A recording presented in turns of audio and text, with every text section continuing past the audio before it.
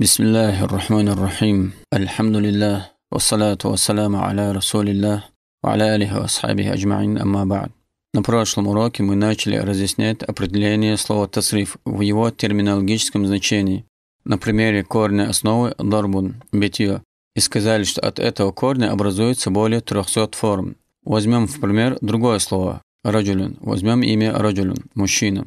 Так мы можем образовать от этого слова форму двойственного числа раджуляни – двое мужчин, уменьшительную ласкательную форму руджейлюн – мужичок, по модели фуайлюн. Форма множественного числа риджалюн, то есть сломанная форма множественного числа риджалюн – мужчины и так далее. Возьмем другой пример, например, мужское имя Зайдун.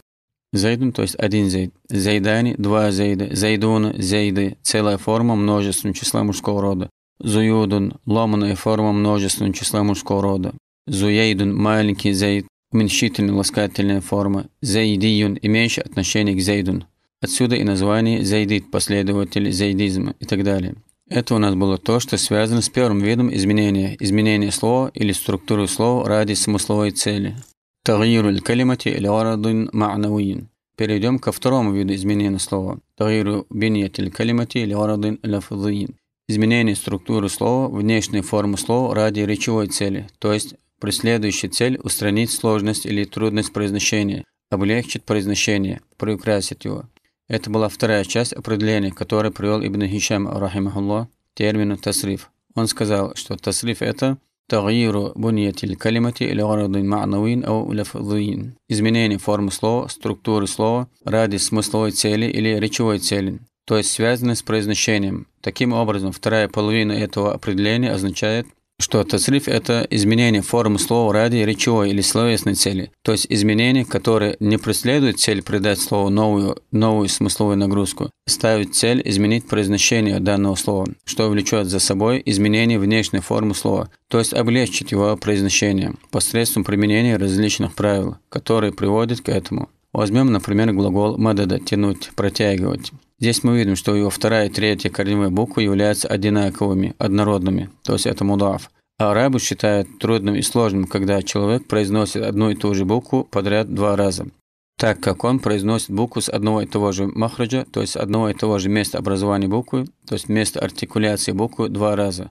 Он бывает вынужден вернуться к этому же месту образования буквы повторно, после произношения ее один раз, дабы произнести ее снова, еще раз. То есть в нашем примере мадада аль-фи'ль мудаф удвоенный глагол, когда человек произносит харфу даль, букву даль с одного махраджа и потом возвращается к этому же махраджу, то есть месту образования буквы еще раз, чтобы произнести ее. Все это приводит к некоторым трудностям в произношении. Поэтому во избежание этого арабы прибегли в подобном случае к идгаму, к удвоению, к слиянию этих двух однородных букв в одну удвоенную букву даль когда язык произносит обе буквы за один раз, образно говоря, одним залпом, что, несомненно, легче предыдущего варианта.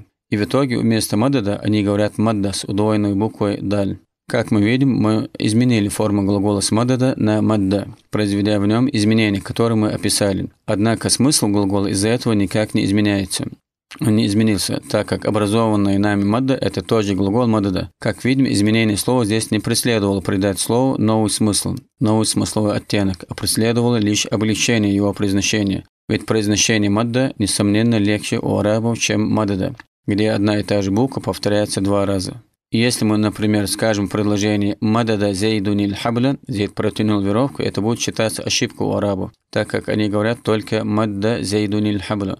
Все упомянутое изучается в науке тасриф или сарф. То же самое будет и в других подобных глаголах, например, радда от радада, адда от от адада, и'тадда от и'тадда, истарадда от истарадда и так далее. В дальнейшем мы, иншаллах, подробно поговорим об этой большой теме, теме глагола аль-мудаф, двойного глагола, то есть глагол, вторая и третья буква которой являются однородными. Приведем другой пример изменения слова ради облегчения его произношения, а не ради нового смысла. Возьмем другой вид глагола, глагол аль-му'таль, слабый глагол, то есть глагол, у которого одна или две корневые буквы являются слабыми, или как, и, как еще и говорят, больными, то есть непостоянными, постоянно подвергаемыми каким, каким-либо изменениям, как состояние больного человека. Так эти буквы иногда заменяются на другие буквы, или совсем удаляются, или же лишаются своей огласовки.